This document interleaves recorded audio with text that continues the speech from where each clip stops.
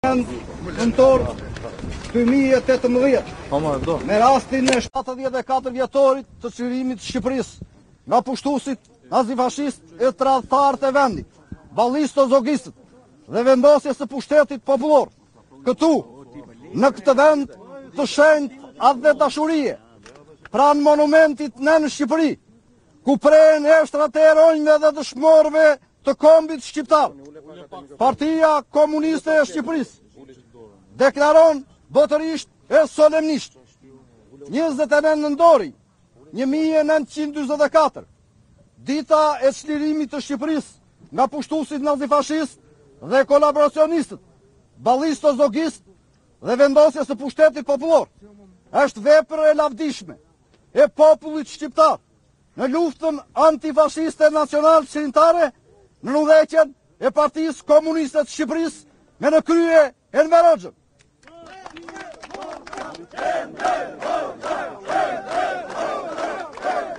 Lavdi 29 nëndorit 1944 Lavdi Partisë Komuniste të Shqipërisë dhe Enver Hoxhës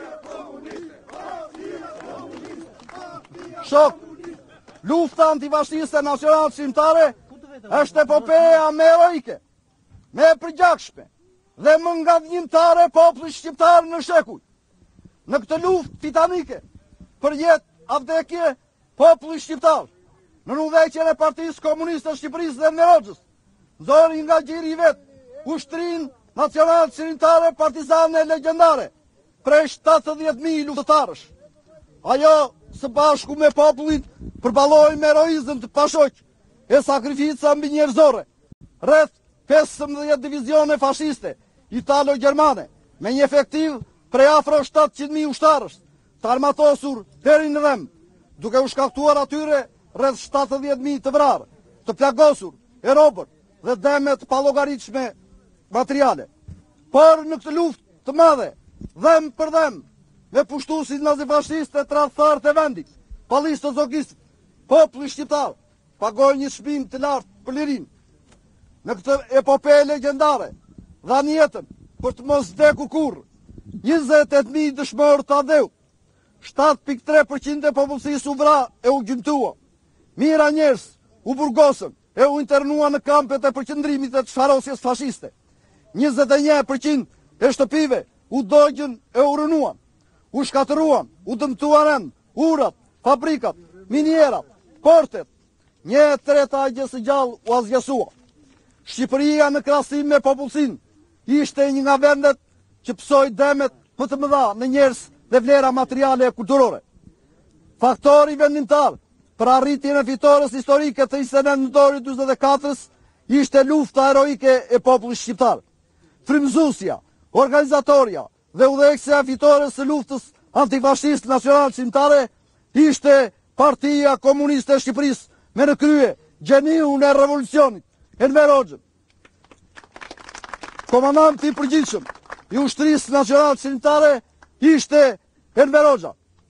Lufta nacionalçlirimtare e popullit shqiptar ishte pjesë përbërëse e Luftës së Madhe të Frontit Antifashist Botëror, me në krye aleancën e madhe anglo-sovjeto-amerikane, lufta antifashiste nacionalçlirimtare e popullit shqiptar, nën udhëheqjen e Partisë Komuniste të Shqipërisë dhe Enverit të Madh, e rreshtoi Shqipërinë në krahun e drejtë të historisë, në krahun e fitimtarëve antifashistë.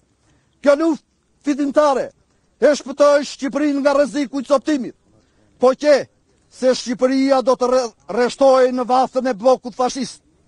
Ashtu siç dëshiruan dhe luftuan fashistët, ballistët e zogistët, Shqipërinë e priste copëtimi territorial. në favor të vendeve shoviniste fqinje, Serbisë, Greqisë, ashtu siç ndodhi në vendet e tjera që u lidhën mbas qerrës së bllokut fashist gjatë luftës së dytë botërore. Lavdi luftës antifashiste nacionalçlirimtare. Shokë, siç e dini, disa ditë më parë, më 14 nëntor 2018, mu në prag, të 29 nëntorit, ditës famëmadhe të çlirimit të Shqipërisë nga pushtuesit nazifashistë dhe kolaboracionistët ballistë e zogistë, populli shqiptar dhe gjithë bota, pa e dëgjoi me zë e figurë, ceremonialin e zi, e të turpshëm, shtetëror, të qeverisë rilindase socialiste të Edi Ramës, për sjelljen e eshtrave, varrosjen me nderime e ngritjen e bustit të kryeballistit e kryetradhtarit me damkë t'atdheut, Mithat Frashërit. Ky akt politik neofashist e neoballist i qeverisë socialiste të Edi Ramës është shprehja më e qartë e rehabilitimit të kolaboracionizmit të Ballit Kombëtar. Ky akt politik është shprehja më e qartë se qeveria rilindase socialiste e Edi Ramës është një qeveri neokolaboracioniste e neoballiste. Nuk ka forcë në botë që mund të rehabilitojë tradhtarët e ballit kombëtar. Poshtë qeveria neoballiste e Edi Ramës. Kush është balli kombëtar këtë gjë e di mirë populli shqiptar dhe gjithë bota. Balli kombëtar u krijua si reaksion kundër frontit antifashist nacional çlirimtar, të udhëhequr nga partia komuniste e Shqipërisë. Ai përfaqësonte Interesat e borgjezisë reaksionare shqiptare. Qëllimi kryesor i ballit kombëtar ishte të shkëpuste masat popullore, sidomos fshatarësinë, popullin, nga Partia Komuniste e Shqipërisë, të shkatërronte frontin nacional çlirimtar, të shuante lëvizjen nacional çlirimtare, dhe të siguronte pushtetin politik pas lufte. Për të arritur këtë qëllim, balli kombëtar zgjodhi rrugën e tradhtisë e bashkëpunimit me pushtuesit nazifashistë. Dokumente të shumta e të patjetërsueshme të lëvizjes nacional çlirimtare, të aleatëve anglo-amerikanë, madje edhe të vetë pushtuesve nazifashistë, vërtetojnë katërcipërisht e përfundimisht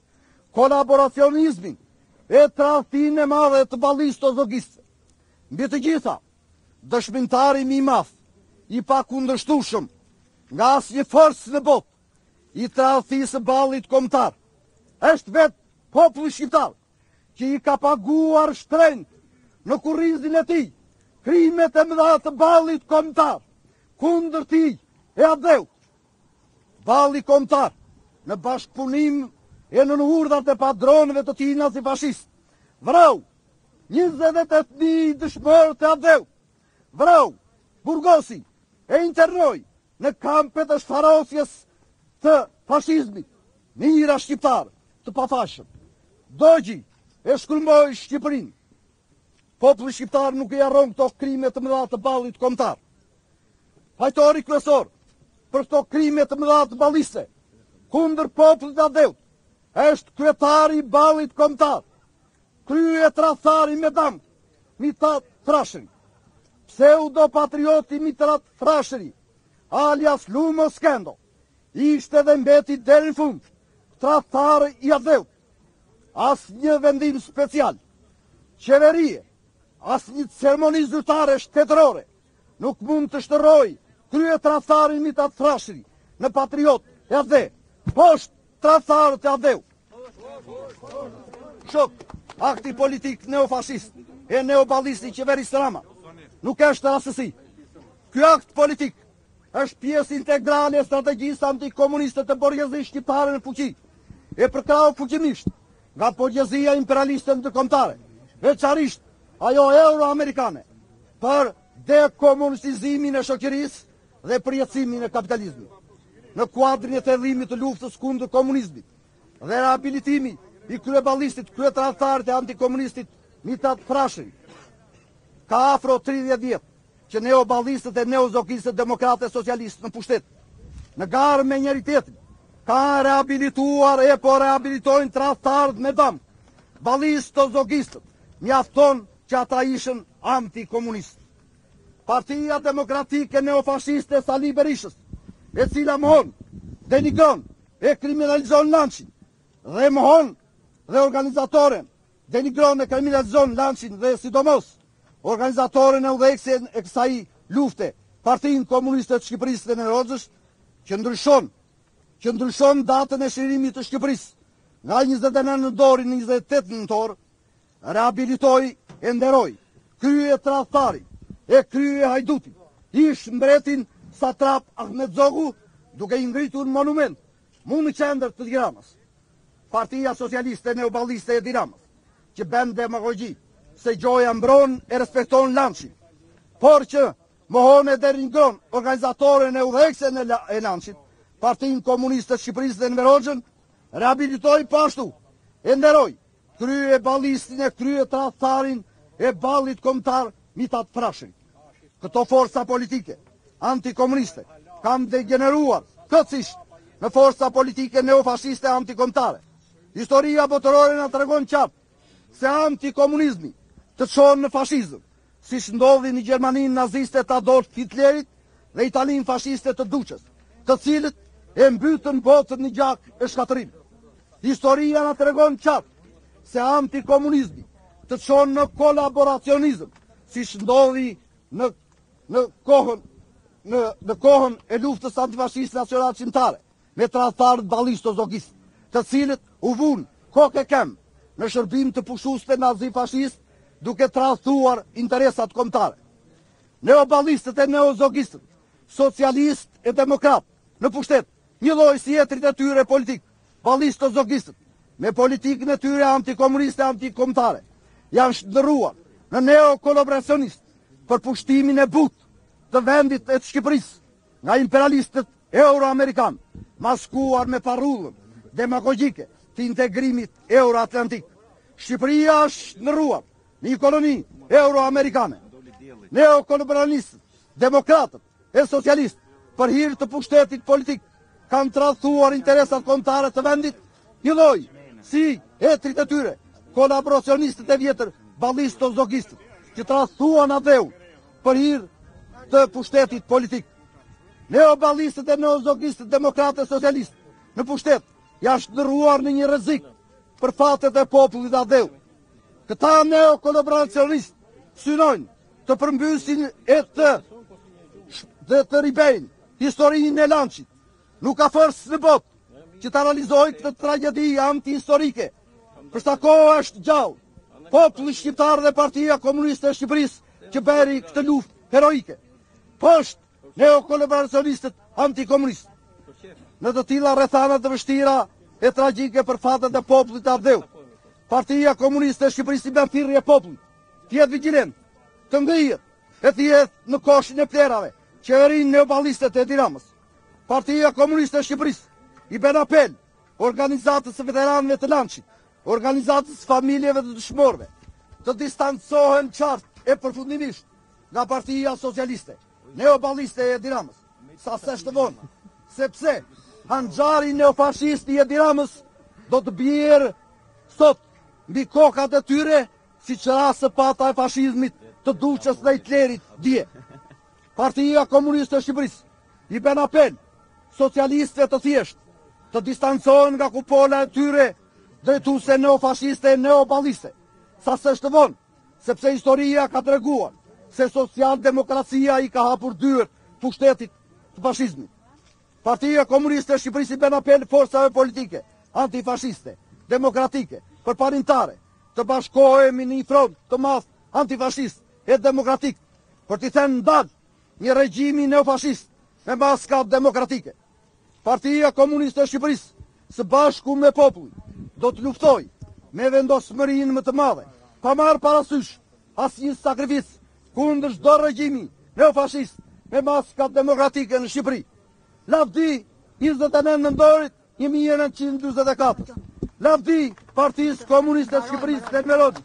Rroftë populli shqiptar. Rroftë Partia Komuniste e Shqipërisë. Faleminderit.